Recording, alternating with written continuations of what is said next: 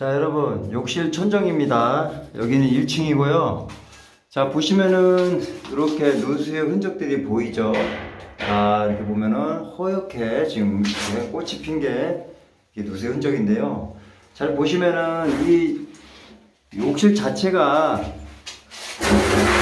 가까이 가서 볼게요. 보시면 이렇게 누수가 된다는 거는 어 이제 제일 취약점 약한 부분으로 해서 이게 배어 나오게 되어 있는데요 지금 보시면 이 배관 주변, 슬리브 주변으로 이 공간이 있어요. 이 공간으로 해서 지금 물이 배어난다고 보시면 되고요.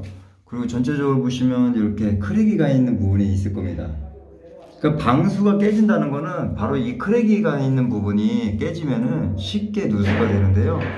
자, 보시면은 이 전체적으로 크래기 간 부분을 따라서 지금 이 누수의 흔적이 보인다고 보시면 되겠습니다. 자 보시면 크랙이 가 있는 부분으로 길을 따라가면은 이렇게 누수가 되는 게 보이시죠? 근데 크랙이 안 가 있는 부분 안 가 있는 부분들은 대부분 누수랑 거리가 좀 멀게끔 느껴지는데 아 크랙이 안 가도 안생 저기 뭐야 색깔이 변색은 될 수 있어요 누수가 되면.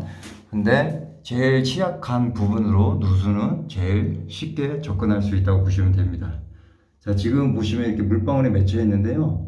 이거는 아직 새고 있다는 소리입니다. 지금 윗집이 누수가 되고 있다고 보시면 되는 거예요.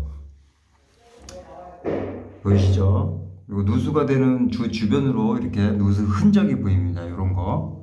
이렇게 보시면은 새까맣게 변해가는 거는 이제 누수의 흔적이라고 보시면 돼요. 보이시죠? 자 이런 경우는 어떻게 해야 되냐 땜빵을 하는 게 아니라 윗집에 이제 누수를 파악을 하고 수리를 하는 게 맞습니다. 그래야지만이 누수의 진행 속도가 멈추게 되는데요. 어, 이거는 뭐 땜빵을 한다고 해서 완전히 잡을 수는 없어요. 어차피 그 집은, 윗집은 누수가 되고 있는 거기 때문에 제대로 누수를 해결하려면 바닥을 까서 말린 다음에 방수 작업을 하고 그 다음에 다시 재시공을 해야 되는 그런 상황이라고 보시면 되겠습니다. 어, 이 보통 1층이라고 해서 우리는 누수와 상관이 없어. 누수가 돼도 괜찮아라고 하시는데요. 잘못된 생각이고요. 1층도 층간소음도 당연히 발생할 수가 있습니다. 근데 사람들은 이런 오해를 잘못된 생각을 많이 하시는데 절대 그렇게 생각하시면 안 되고요. 제가 앞전에 올린 영상에서 보면 1층에서 누수된 게 지하층 지하실로 음, 누수가 되는 게 보이실 겁니다. 아마 그러면은 결국에는 그 집도 누수가 되면 당연히 지하 주차장이나 이런 부분에도 피해를 준다고 보시면 돼요. 그래서 아무리 1층이라도 누수를 쉽게 생각하시면 절대 안 될 것 같습니다.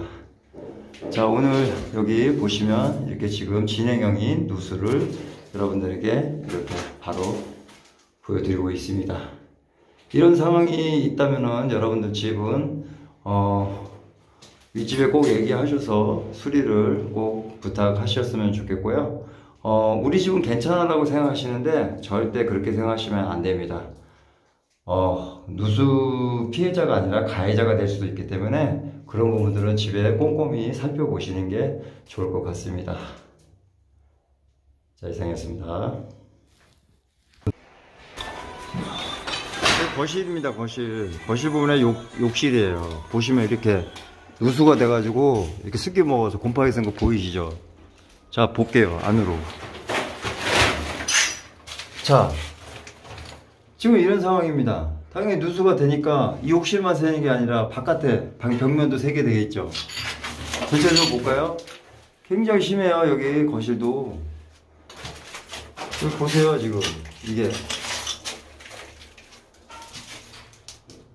이거 심한 거예요, 굉장히.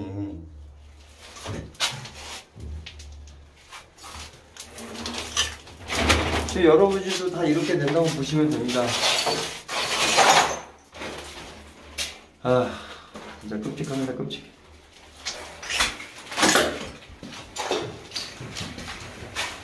여기 보시면 이렇게 흔적이 있잖아요. 여긴 방인데. 보이시나요? 이 방까지 지금 누수 영향을 준 거예요. 여기 지금 천정이 무너졌는데요. 이게 왜 무너지겠어요? 결국 누수가 되면요. 이 결국 여기 안에 습기가 차요. 습기가 차다 보면은 당연히 속고보드랑 이, 이 각재랑 다 휘어지게 되어 있습니다. 그러니까 결국에는 무너지는 거예요. 이게 옛날 집일수록 더 심하죠. 그래서 누수를 쉽게 생각하시면 절대 안 됩니다. 엄청 위험한 거예요. 아, 대박 씨. 아이고 어우 이거 안또안 다치는 게 다행이네. 큰일 났으면 다칠 뻔했어 아유 그만 뭐 다행이죠 이거 못으로 박은 거잖아요. 이거 이런 거 많이 떨어져요. 오래됐잖아 이게. 아니 고정을 안 해놓고 뭐 어디 가해만 해라 나 썩어서 그래. 썩어서. 스키 먹어서 그래. 스키 먹어서 이 못으로 못으로 된데 다 떨어져요 이렇게. 얘기할 필요 없고 그래서 다 썩은 건데. 야 대박이다. 씨. 다. 음 참네 대인 대인 걸려다. 이거 봐요 스키 차 있고 지금. 저 대인 많다. 한개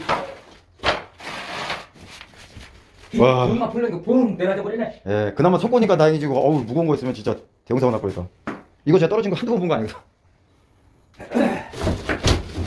아유 먼지 날리고. 아유.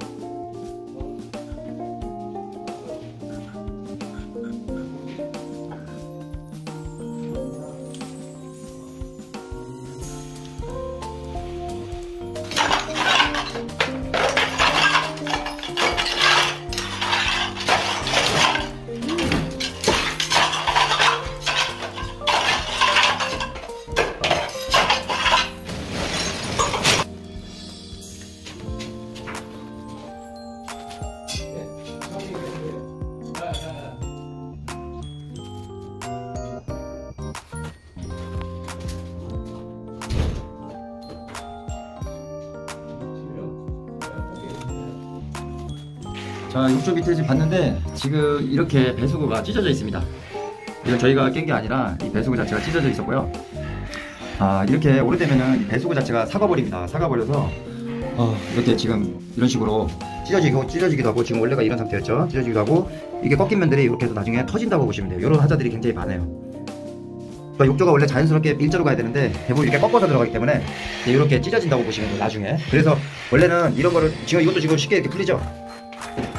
처음에는 빡빡해도 이렇게 나중 되면 느슨해져서 이 패킹 부분 보십시오. 패킹 부분이 이렇게 씹혀 있습니다. 이렇게. 그죠? 변형이 된다는 거는 결국 누수가 될 수밖에 없다고 보시면 돼요. 또 욕조 시공 하면은 처음에는 괜찮을지 몰라도 나중 되면은 누수가 발생될 수가 있고요. 이렇게 이제 크랙 가는 부분으로 이제 누수가 발생될 수도 있습니다. 자, 보시면 오래된 거죠.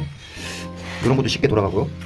아마 욕조 누수 굉장히 많을 거예요. 근데 그것도 나중에 예방하는 방법이 따로 있습니다. 미리 미리 시공할 때는 조금만 신경 쓰면은 나중에 추후에 하자가 날 확률이 줄어드는데 대부분 이런 부분들 모르기 때문에 이런 건 제가 나중에 영상으로 해서 같이 첨부해 드릴게요.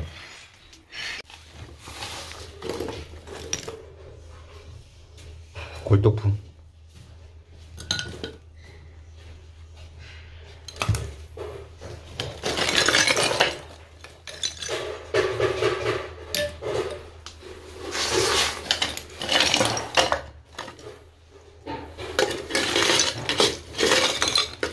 아휴. 쓰레기를 집어넣으면 쓰레기